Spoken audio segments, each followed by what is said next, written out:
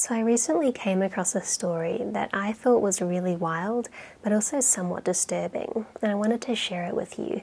It's about Johannes Kepler, but it's also about his elderly mother, Katharina, the birth of science fiction, and our reluctance to be open minded. Kepler was a great German astronomer from the 17th century. His name pops up in plenty of textbooks today for his laws of planetary motion.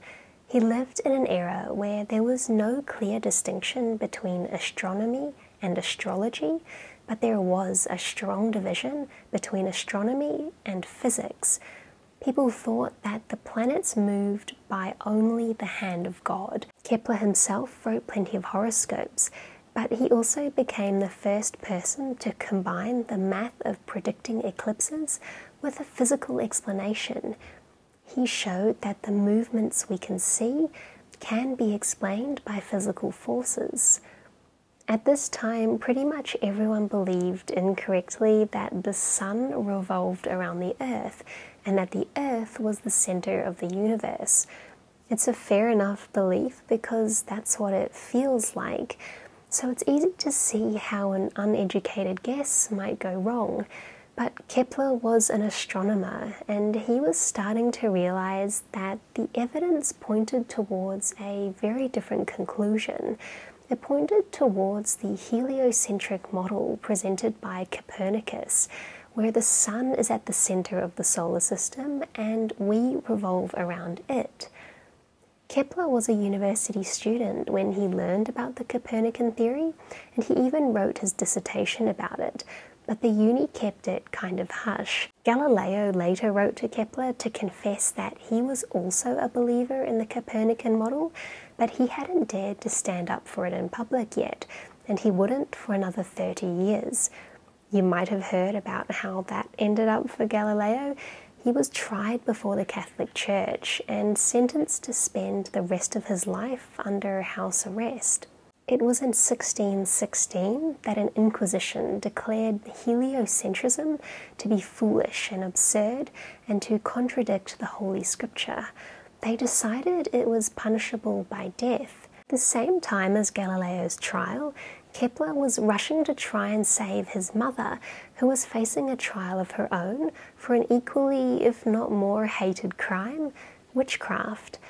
But all of these events are somewhat connected in an unexpected way. Years earlier, in 1609, Kepler had finished writing a book called Somnium, or The Dream. It is often called one of, if not the first, example of science fiction writing because of how much hard science it contained. Before I take a look at the story, I would like to quickly thank Audible for sponsoring this video. The story that I'm sharing today about Kepler is one that I read about in the first chapter of the book Figuring by Maria Popova.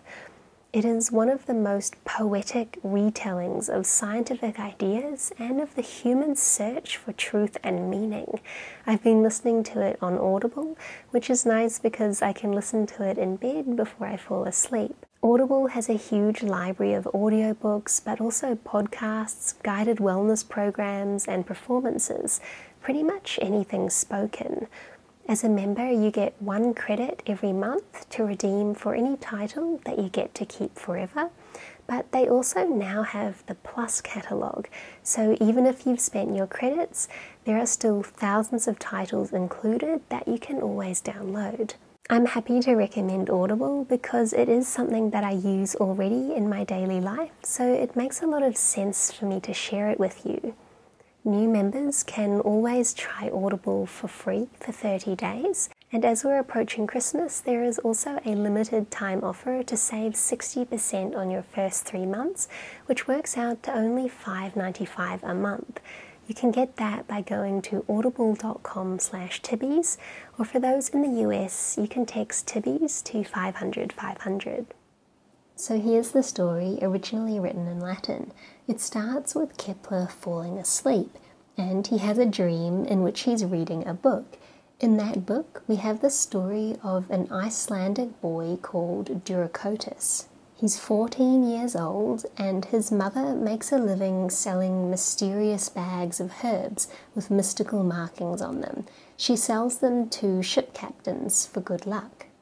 One day, Duracotus cuts open one of the bags to see what's inside and spills the contents out everywhere. His mother is really angry with this because it loses her money, so instead she agrees to give her son to the skipper in place of one of the bags and they take off together and sail to Norway. On the ocean voyage, Duracotus becomes seasick, and so the captain leaves him behind on land with instructions to go and deliver something to the astronomer Tycho Brahe. Duracotus ends up becoming a student of the astronomer and spends five years in his care learning how to observe the heavens. Take this drawing with a grain of salt because this book was actually written before Galileo pointed the first spyglass at the sky and before Kepler himself had ever looked through a telescope. After a few years, Duracotus travels back to Iceland to meet up with his mother. She's happy to hear that he has studied astronomy and reveals that she too possesses lots of knowledge on this topic. But then she reveals that the reason she has this knowledge is because she is able to summon up these spirits or demons which can move her anywhere on earth in an instant. It turns out this doesn't just include the earth though, because she summons one of her favourite spirits to speak with them. The spirit tells them that 50,000 miles up in the ether lies the island of Levania, which is Earth's moon. The spirits are able to take humans up to the moon in a journey of four hours. Apparently, the journey is a shock to humans, so they are sedated with drugs for the trip. The spirit describes a trip to the moon and also talks a lot about the Earth, which is called Volva. The name is picked carefully to represent revolution or revolving, as for the inhabitants of the moon, they believe that the Earth rotates around the moon. Volva goes through the same phases that we see the moon go through. The moon, Levania, is also divided into two hemispheres. One is called Privolva, which never sees the Earth. It is the side of the moon that is always locked facing away from us and the other hemisphere is subvolva, which does see the Earth as their moon. A lot of the book is then a very detailed scientific description of how the Earth would look from the moon, how eclipses would look, the size and orbits of planets, and even some descriptions of creatures that inhabit the moon. Now, at the time this was written, the idea that the moon revolved around the Earth was actually well known and non controversial. Kepler is trying to suggest that perhaps our own certainty about Earth's fixed position in space with regards to the Sun is just as misguided as the lunar citizens' belief that the Earth revolves around them. When you're standing on the moon and the ground feels firm and motionless beneath your feet, and you see this pale blue dot of the Earth rising and setting against your horizon, you can really be convinced in something that's not true. This story was written 300 years before Edwin Abbott's Flatland, and in that book, we are exposed to creatures that live in one dimensional and two dimensional spaces, and we see how it is utterly impossible to convince them that there exists a third dimension. In Flatland, the reader is left questioning whether there must be some obvious fourth dimension that we are also incapable of comprehending. Kepler hoped that by seeing the absurdity of the lunar people's belief that the moon was at the center of the universe, that we ourselves would have the insight to question whether that was true for us as well. He wanted to gently expose more people to Copernicus's theory of the solar system but he knew it would be too complex and abstract to just present the scientific facts to a largely scientifically illiterate public. Instead, he knew that storytelling was an amazing way to share science. That still remains true today. Kepler perhaps knew that the universe is made of stories, not atoms. It's quite convoluted how Kepler presents the events as being within a book within a dream, and it creates quite a lot of distance between Kepler and what he's writing down. Perhaps that is deliberate as a way to be able to deny and say that these are not necessarily things that he believes.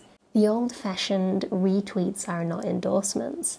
It was called The Dream, but this story was supposed to awaken people to a new scientific truth. However, it turned out that society was in a slumber too deep to be helped.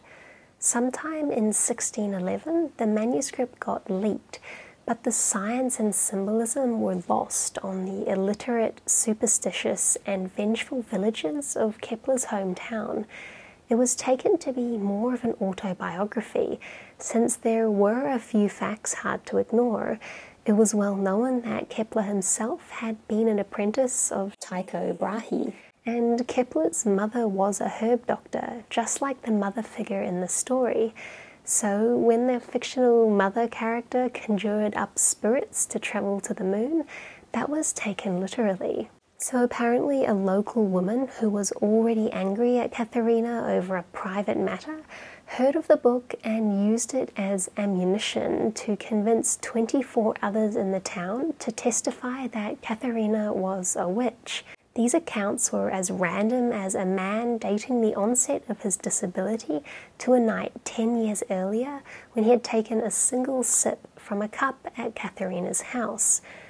Kepler took on his mother's legal defense and dedicated six years of his life to disproving each of these allegations, using science to point to natural causes behind each one. But his mother was arrested and taken from her home in the middle of the night. The accounts I've read say that the dream wasn't presented as evidence at the trial, but Kepler did hold himself at least partially responsible for her fate, having written it. Katharina was imprisoned for 14 months and threatened with torture, but confessed nothing.